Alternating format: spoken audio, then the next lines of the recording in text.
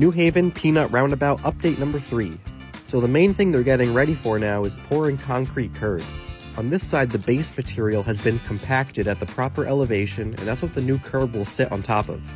On the other side, we can actually see the form work for the curb that's been built.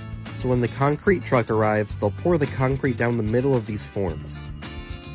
They've also been working on drainage. Since the curb lines are changing, the drainage patterns are also changing. So this is a new catch basin being installed at what's going to be a low point, and the pipe is connecting to an existing drainage structure down the road.